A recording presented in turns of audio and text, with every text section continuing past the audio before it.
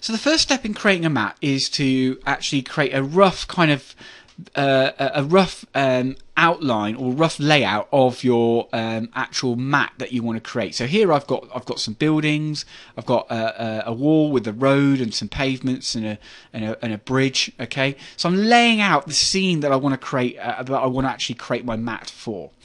Now, this is important in terms of A, identifying uh, uh, the assets that we want, B, giving me the layout as well, and also C, planning out my camera move because the camera move, the, the, the where I'm actually uh, capturing this scene from, as you can imagine, we're using this projection technique.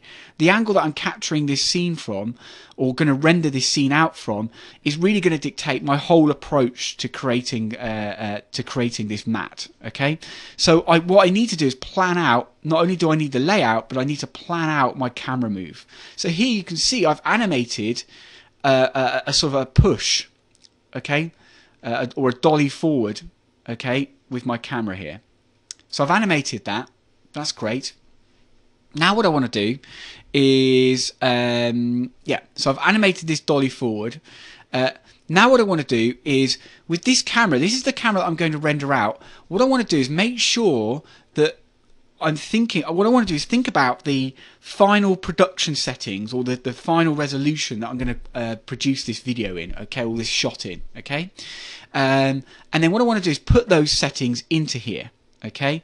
And the key thing is what we need so I'm going to shoot this so basically I want to render this out in HD and that's the final shot's going to be in HD and the, the key reason for putting these in at this stage is that allows me when I switch on this resolution gate so I'll just show you how to switch that on. So with when you're looking through the camera you're going to render render from okay? Uh, you want to go and select camera tools.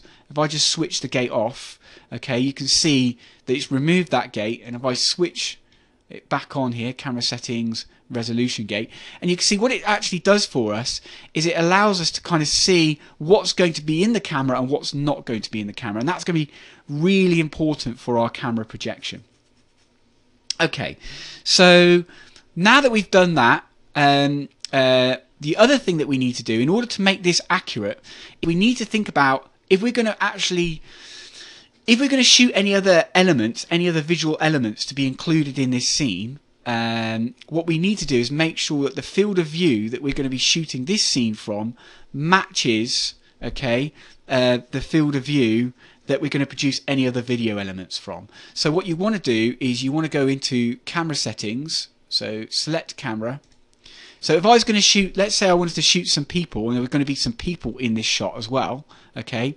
Um, um, what I would want to do, um, let me just demonstrate here. So if I was going to shoot some people, what I want to do is um, go into the camera settings and set up our angle of view. And basically, the angle of view is set up is based on the um, focal length of the lens that you're using, so this setting here, and then it's it's these two settings here. You can either put them in inches or millimeters, that's fine, okay. But it's the uh, camera aperture here, which is basically the size of the sensor of the camera that you're going to be using, okay. So just to recap, you want this if if you're going to shoot any other video elements to go into this scene, you want this the, the, the, the, the settings, the camera aperture or sensor size and uh, focal length to match the camera you're going to use to shoot those elements. Okay. The other thing that we need to think about is the field of view that we're going to actually um, uh, that we're actually going to use for our projection system. Okay, so what what's the field of view of the camera that we're going to use to project our scene? So in here, if I go into um, panels uh, perspective, you'll see I've got a camera here called camera projector. And this camera is the camera that I'm going to use to project from. Now, let me just demonstrate here. If I just go into perspective, you can see Here's the camera, so the moving camera that you see, if I move the timeline, the camera that's moving is the camera that's got that dolly forward in, and that's the camera that we're actually going to render our scene out with, okay? This camera here, this is the camera we're going to use to project the scene. Okay, so obviously we can't really project the scene from a moving camera. I mean, that might create an interesting result, but it's not not what we want here. Okay, so we're going to project from here. Okay.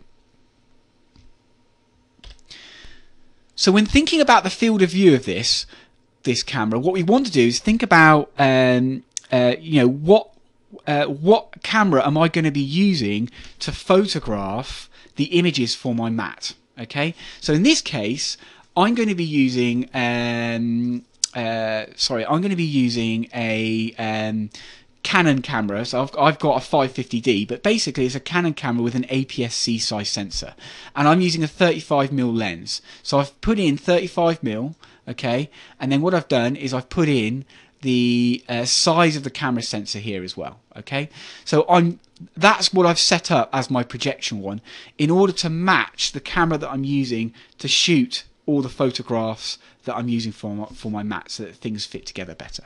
Okay, so that's that's um, that's setting up the cameras.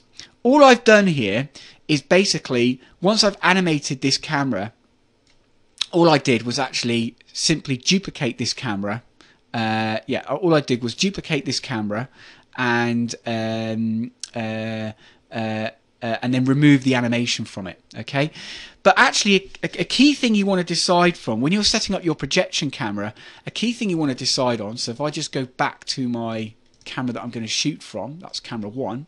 Okay, with the with the movement on it. A key decision that we need to make is where we're going to project from. What, what's the be best position to project from? So what you want to do is kind of consider what is your hero shot. So if you're going to be, you know, is it the opening part of the the matte or is it the closing part of the matte? Is it rotating?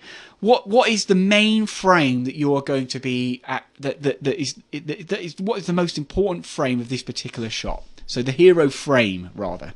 Uh, uh, uh, yeah. Then what you want to do is once you've decided that you want to kind of work out what's the best position to project from for that particular frame. So in this case, what I've done is because I'm doing a push forward, I've kind of gone for a kind of logical sort of solution here. If I project from uh, where the camera is furthest out from our scene, or furthest away from these elements, if I project from there, that will cover all the elements that are going to be in the rest of this scene. Because obviously, as I push in, all I'm doing is is moving the camera further into these elements here. So the elements just get larger, okay? There's nothing new coming into my scene. So if I project from here, it will cover the whole scene for the rest of this camera move. So with that logic in mind, I basically duplicated this camera, removed all the animation from it, uh, and, and, left it at where it was at frame one, uh, and then obviously just renamed it camera projector because it's being used for projection. Once you've set all these cameras up, uh, a good tip is to lock the cameras down because what you don't want to be doing is moving the projector, moving the projection, um, uh, or um, moving the camera that you're shooting from uh, after your um, uh, shot. And especially what you don't want to do is move the projection camera. That's the bit that's really going to cause you a problem. Okay, so um, also if you actually um, if you're if the camera you're using to project from is different to the um, uh, to the aspect ratio you're going to render at, it is also worth just checking that that that camera is going to cover the entire scene. Okay, that's that's probably another key thing to do as well. Um, uh, yeah.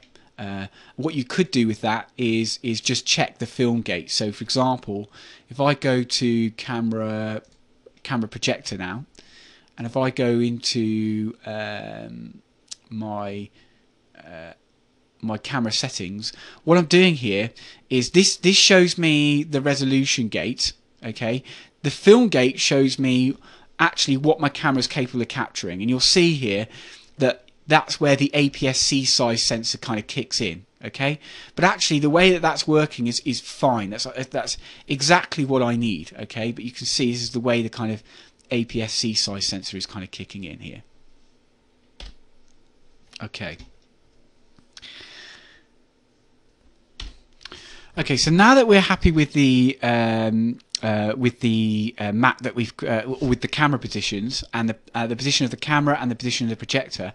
What we want to do is lock the camera positions. So to lock them, you just want to go into your channel box, uh, select the camera. So view, select camera. That's going to select the camera that we're we're looking through at the moment, and then just simply select all the translate and rotate options and simply right click and go lock. And it's worth doing this for both the camera that we're shooting from and the camera that we're using as a projector.